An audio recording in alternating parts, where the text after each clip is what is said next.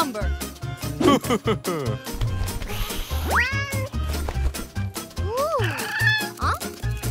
you know why cats are scared of cucumbers? Let knowledge click! Like some other animals that gather in groups, like coyotes. Uh, uh, uh. Cats are known for their independent nature and usually travel alone.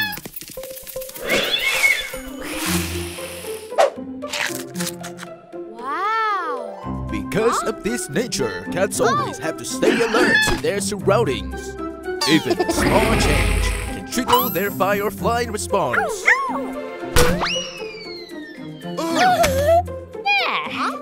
But what do cucumbers have to do with this?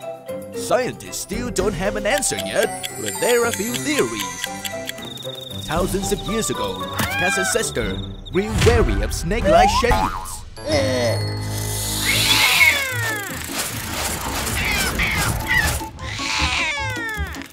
In fact, this doesn't just happen with cucumbers.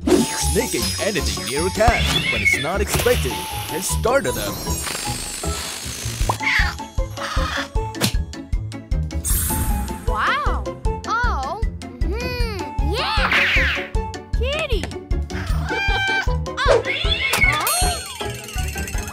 Teasing a cat too much can make it stressed, panic, or even lose trust in you. I'm sorry. That's it for today. Join Wolfoo as he continues exploring the amazing world in the next episodes. Ah! Hmm. Oh. Kitty, stay still. Huh?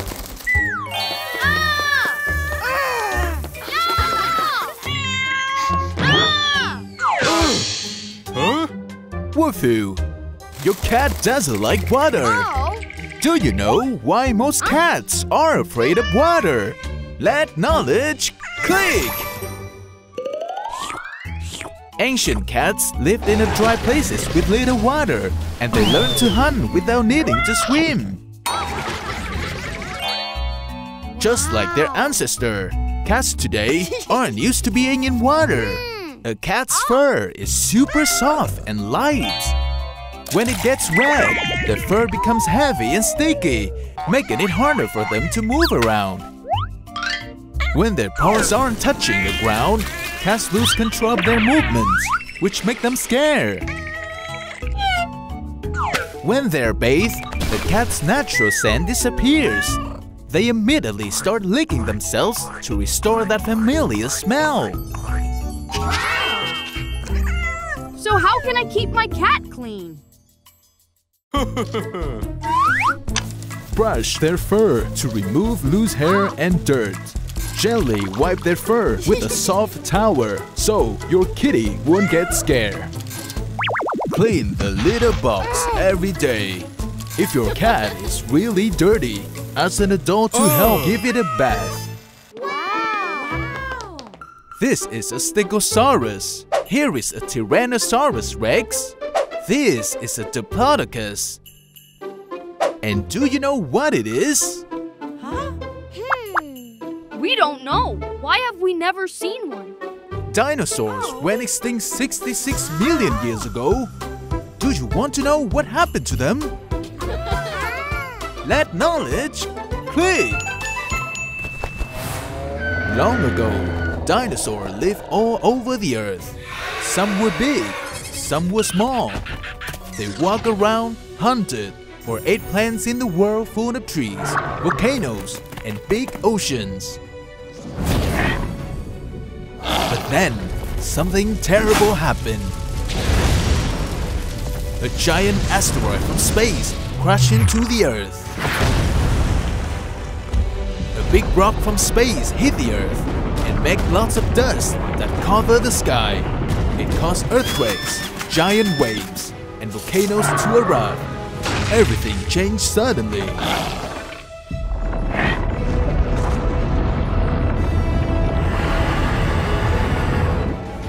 With the sun blocked, plants couldn't grow. Without plants, the plant-eating dinosaur had no food. Then, the meat-eating dinosaurs didn't have food either, so they disappeared too.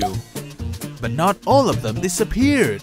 Scientists believe some small dinosaurs that survive change over time and become the birds you see today. So, birds are actually relatives of dinosaurs? You can say that. Oh.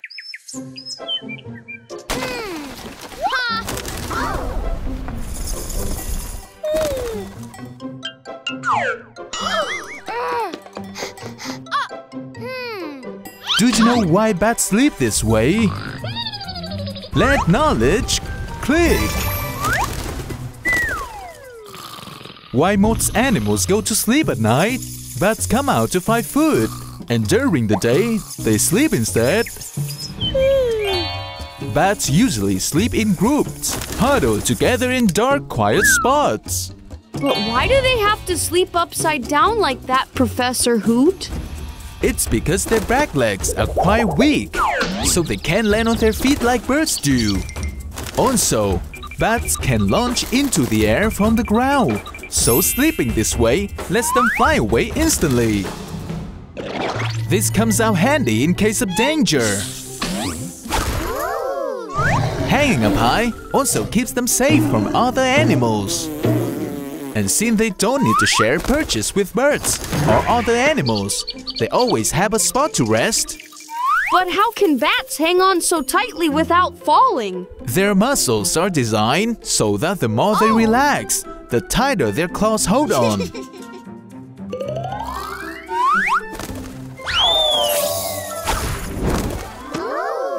Wow! What are we gonna do with it now?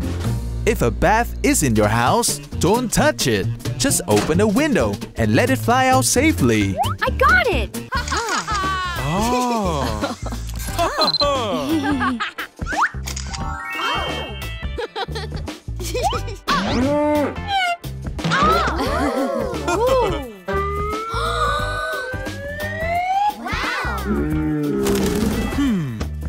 Kids, do you know why giraffes have such long neck?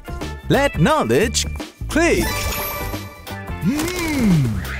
First, we need to know where giraffes live.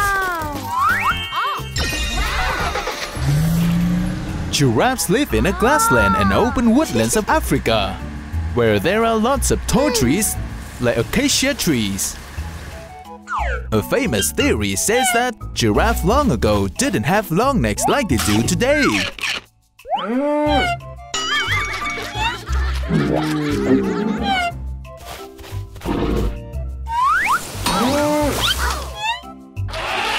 Animals that were shorter could only eat low leaves, so they had to compete for food.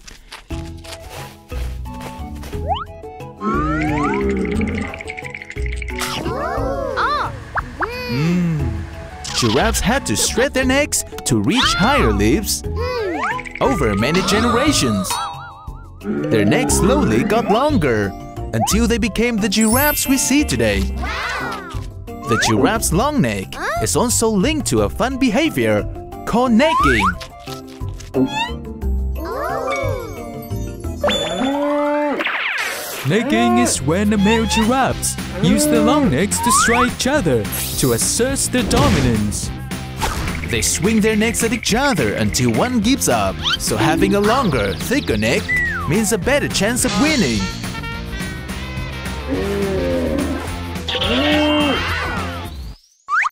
Discover everything around us on Wolfoo Explore channel.